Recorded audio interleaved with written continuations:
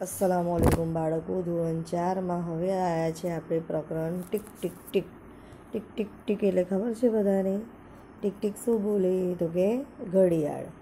તો પંકજ અને સાનિયા શાળાએથી કોનું ઘર વધારે દૂર છે તેની ચર્ચા કરી રહ્યા હતા. તો પંકજ કહે છે, મારે શાળાએ પહોંચવા પાંચ મિનિટ જેટલું ચાલવું પડે છે. તો સાન્યા કહે છે, મારે શાળાએ પહોંચવા માત્ર બે મિનિટ જેટલું ચાલવું પડે છે. અશક્ય. તારું ઘર શાળાથી દૂર છે. કોણ એવું કહે છે? પંકજ. તો સાન્યા કહે છે, પણ મેં મારી ઘડિયાળ જોઈ. હું શાળાએ જવા સાત વાગે નીકળી.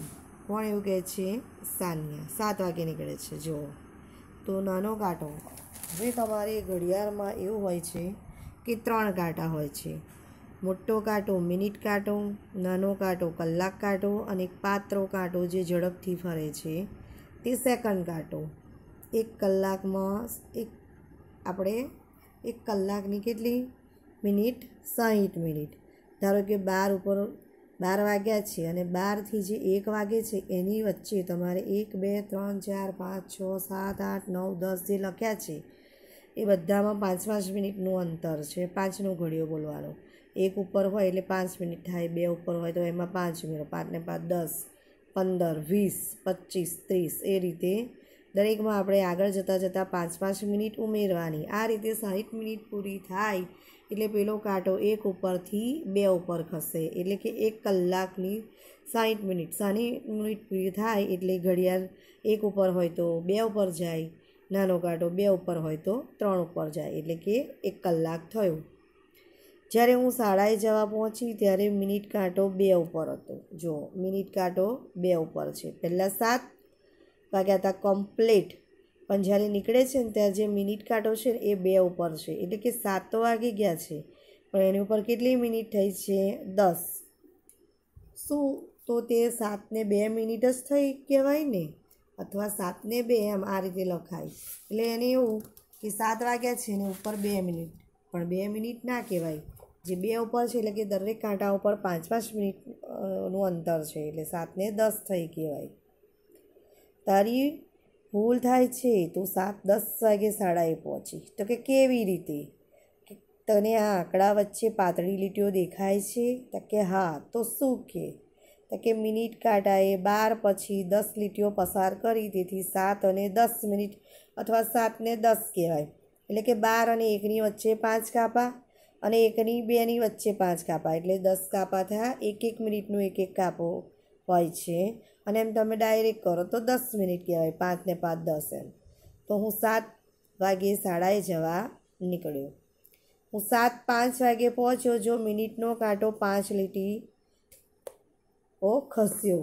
તો નીચે જુઓ, તમને બતાવ્યું છે કે પહેલી ઘડિયાળમાં સાત વાગ્યા છે અને બીજી ઘડિયાળમાં સાત અને પાંચ થઈ છે. અભ્યાસ ત્રણ મિત્રો ઘડિયાળમાં સમય જુએ છે. કોણ? સાચું છે. ચાલો. જે પહેલી ઘડિયાળ છે ને, તો પહેલી ઘડિયાળમાં ચીકુ એવું કહે છે બાર ને ત્રણ થઈ. બિટ્ટુ કે બાર ને પંદર થઈ. ચાલો, હવે તમે કહો કે કેટલા વાગ્યા છે? જો અહીંયા તમારે નાનો કાંટો જોવાનો. નાનો કાંટો ત્રણ ઉપર છે અને મોટો કાંટો બાર ઉપર છે. એટલે કમ્પ્લીટ કેટલા વાગ્યા કહેવાય? ત્રણ. પછી જુઓ. નાનો કાંટો છ ઉપર અને મોટો કાંટો જુઓ. કેટલા ઉપર છે? કેટલા ઉપર દેખાય છે તમને? છ પછીના સાત ઉપર. એટલે કે કેટલા વાગ્યા છે? છ સોરી, પાંચ અને છની વચ્ચે છે. એટલે કે પાંચ અને ઉપર પત્રીસ મિનિટ થઈ છે. સાત ઉપર હોય, એટલે કેટલા વાગ્યા કહેવાય? પાંચ અને છની વચ્ચે, એટલે કે પાંચની ઉપર આટલી મિનિટ થઈ ગઈ છે. પાંચ અને પાંત્રીસ અને નીચે જુઓ, નાનો કાંટો સાત ઉપર અને મોટો કાંટો ત્રણ ઉપર છે. એટલે સાત ત્રણ ઉપર હોય તો પંદર મિનિટ કહેવાય. એટલે કે સાત અને પંદર થઈ છે. આ રીતે તમારે ઘડિયાળમાં નાનો કાંટો કલાક બતાવે. મોટો કાંટો મિનિટ બતાવે છે. આ રીતે તમારે સમજવાનું છે. હવે અહીંયા તમારે કાંટા દોરવાના છે. નીચે આપેલ સમયને ઘડિયાળમાં દર્શાવો. ત્રણ અને દસ કેવી રીતે થાય? તકે નાનો કાંટો ત્રણ ઉપર. નાનો કાંટો ત્રણ ઉપર અને મોટો કાંટો બે ઉપર. મતલબ કે ત્રણ અને દસ. છ અને ચાળીસ. તો નાનો કાંટો છ અને સાતની વચ્ચે લેવાનો થોડો અને ચાલી, ચાલીસ મિનિટ એટલે છ ઉપર ત્રીસ અને બીજી સાત અને આઠ. તો મોટો કાંટો આઠ ઉપર એટલે છ અને ચાળીસ. ચાર અને પિસ્તાળીસ. નાનો કાંટો ચાર અને પાંચની વચ્ચે લેવાનો અને મોટો કાંટો નવ ઉપર લેવાનો. નવ ઉપર આવે એટલે પિસ્તાળીસ મિનિટ થાય. હવે જુઓ, અહીંયા કેટલા છે? બે અને વીસ. તો બે અને વીસ કેવી રીતે થાય? તો કે નાનો કાંટો બે ઉપર, બેથી સહેજ આગળ અને વીસ એટલે જુઓ, ચાર ઉપર. પાંચ, દસ, પંદર અને વીસ. ત્રણ અને પંદર. એ રીતે નાનો કાંટો બે કેટા કાંટા અહીંયા ભેગા થઈ જશે. નાનો કાંટો બી ત્રણ ઉપર અને મોટો કાંટો બી, મતલબ નાનો કાંટો સહેજ આગળ પંદર મિનિટ એટલે સહેજ આગળ ખસે, પણ નજીક જેવું જ લાગશે એટલે અને પેલો મોટો મિનિટ કાંટો બી અહીંયા. સાત અને પાંત્રીસ. તો સાતની ઉપર, એટલે સાત અને આઠની વચ્ચે નાનો કાંટો અને પાંત્રીસ મિનિટ, એટલે છ પછી, છ ઉપર આવે એટલે તમારી ત્રીસ મિનિટ થાય છે. બાળકો, આ રીતે તમારે ઘડિયાળમાં સમજવાનું છે. બધાએ ઘડિયાળ જોતાં શીખવાનું છે. બરાબર છે? કે ઘડિયાળમાં દરેક કાંટા વચ્ચે પાંચ પાંચ મિનિટનું અંતર હોય છે. દરેકમાં તમારે પાંચ પાંચ મિનિટ ઉમેરવાની છે. જેવી રીતે એક કલાકની સાહીઠ મિનિટ થાય છે, એવી જ રીતે સાહીઠ સેકન્ડની એક મિનિટ થાય છે. સાહીઠ મિનિટનો એક કલાક થાય છે. એ જ રીતે તમારે દિવસ અને રાત. બાર. એ આખો દિવસ સવારથી સાંજ સુધીમાં બાર અને ફરી રાતથી સવાર સુધીમાં બાર. આ રીતે તમારી ચોવીસ કલાકનો એક દિવસ હોય છે. બરાબર છે? તો તમને એવું કહે છે કે શું તમને આકાશ દર્શન ગમે છે? જો હા, તો તમને રસ પડશે તમારા વિસ્તારમાં સૂર્ય કયા સમયે ઉગે છે? બરાબર છે? એ તો આપણે ગમે તે લખી શકીએ છીએ. સૂર્ય ઉગવાનો સમય સવારમાં કેટલો હોય છે? ઘણીવાર એ છ વાગ્યા પછી ઉગે છે, બરાબર છે. તો આ તમારે, સૂર્ય આથમે છે ક્યારે? તો સૂર્ય સાંજે આથમે છે. સવારે ઉગે અને સાંજે આથમે. તો તમે સાત વાગે પણ લખી શકો છો. બરાબર છે કે આથમવાનો સમય? બરાબર છે? તો આ રીતે તમારે સમજવાનું છે. હવે અહીંયા તમારે ઘડિયાળમાં બતાવવાનું છે કે સૂરજ કેટલા વાગે ઉગે છે અને કેટલા વાગે આથમે છે. એ બંને ઘડિયાળમાં તમારે કાંટાથી બતાવવાનું છે. બરાબર છે? જો, અહીંયા તમારે બતાવવાનું છે. ધારો કે સાડા પાંચ, છ વાગે તો નાનો કાંટો છ ઉપર ને મોટો કાંટો બાર ઉપર. આથમવાનો ટાઈમ સાંજે સાત વાગે તો નાનો કાંટો સાત ઉપર અને મોટો કાંટો બાર ઉપર. આ રીતે તમારે બતાવવાનું છે. હું દરરોજ સૂર્ય ઉગવાનો અને આથમવાનો સમય સરખો હોય છે. જુદા જુદા મહિનાઓમાં સૂર્ય ઉગવાનો અને આથમવાનો સમય સમાચાર પત્રમાં જોવાનો. તો સાચી વાત છે બાળકો.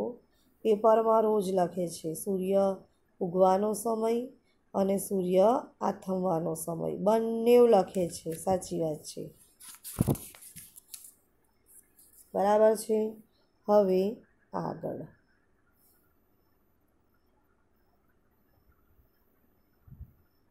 ચિત્ર જોઈને આ સ્થળના સમયની કલ્પના કરો. બરાબર છે? હવે શું કહે છે? કે આ ચિત્ર ફ્રાન્સના પેરિસ શહેરનું છે. પેરિસમાં ઉનાળા દરમિયાન રાત્રે નવ વાગ્યા પછી સૂર્ય આથમે છે. જુઓ. આ ફોટો રાત્રિના સમયે લેવામાં આવે છે. પરંતુ શિયાળામાં અહીંયા સાંજના ચાર વાગ્યાથી અંધારું થઈ જાય છે. મતલબ બાળકો, અલગ અલગ દેશમાં અલગ અલગ રીતે સૂર્ય ઉગે છે અને સૂર્ય આથમે છે. બરાબર? હવે જુઓ, આ ઘડિયાળ છે તો અહીંયા જુઓ કે નીચેના ચિત્રો પરથી કહો કે મિનિટ કાંટાને ખસતા કેટલો સમય લાગ્યો? તો પહેલી ઘડિયાળમાં જુઓ. સાત અને વીસ હતી. અને બીજી ઘડિયાળમાં જુઓ, કેટલા વાગ્યા છે? કેટલા દેખાય છે તમને? નવ અને દસની વચ્ચે છે? બરાબર છે? તો સોરી, નાનો અ. જે નાનો કાંટો ત્રણ ઉપર છે અને મોટો કાંટો સાત ઉપર છે. મતલબ કે સાડા ત્રણને પાસ થયા છે પહેલી ઘડિયાળમાં. અને બીજી ઘડિયાળમાં ચારમાં દસ વાગવાની બાકી છે. એટલે કે પહેલી ઘડિયાળ પંદર મિનિટ આગળ ખસી, પછી બ. તો બમાં જુઓ. નાનો કાંટો ચાર અને પાંચની વચ્ચે છે અને મોટો કાંટો, મિનિટ કાંટો જુઓ, આઠ ઉપર છે. બરાબર છે? અને બીજામાં જુઓ, કમ્પ્લેટ કેટલા વાગ્યા છે? ચાર. તો અહીંયા ઘડિયાળ કેટલા મિનિટ ખસ્યું છે? તો કે વીસ મિનિટ. ક. નાનો કાંટો છ ઉપર ને મોટો કાંટો એક ઉપર છે. અને બીજી ઘડિયાળમાં છ અને નાનો કાંટો છ અને સાતની વચ્ચે છે અને પેલો ત્રણ ઉપર છે. તો અહીંયા કેટલું મિનિટ ખસે છે? તા કે દસ મિનિટ. હવે જુઓ. ડ તો કે નાનો કાંટો સાત અને મોટો કાંટો બે ઉપર છે. પછી જે બીજી બાજુ ઘડિયાળ છે, એમાં સાત અને આઠની વચ્ચે અને મોટો કાંટો નવ. એટલે કે પાંત્રીસ મિનિટ ખસે છે આ કાંટો પાંત્રીસ મિનિટ ખસે છે. બરાબર છે બેટા? હવે સમય પ્રમાણે કાંટા દોરો. છ કલાક અને વીસ મિનિટ. તો આમાં નાનો કાંટો છ અને સાતની વચ્ચે અને મોટો કાંટો ચાર ઉપર. એટલે છ અને વીસ. પછી આઠ કલાક અને ત્રીસ મિનિટ. તો કમ્પ્લેટ આઠ અને નવની વચ્ચે દોરવાનો નાનો કાંટો અને ત્રીસ મિનિટ બરાબર છે. કેટલી મિનિટ કીધી છે? ત્રીસ મિનિટ એટલે કમ્પ્લેટ મોટો મિનિટ કાંટો છ ઉપર હોવો જોઈએ. બરાબર છે.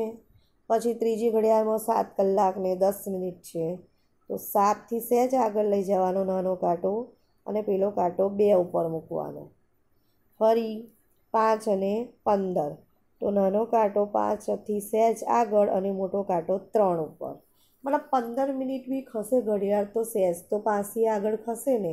જેટલી મિનિટ આગળ ખસે એટલો તમારો કલાક કાંટો પણ થોડો થોડો આગળ ખસે છે.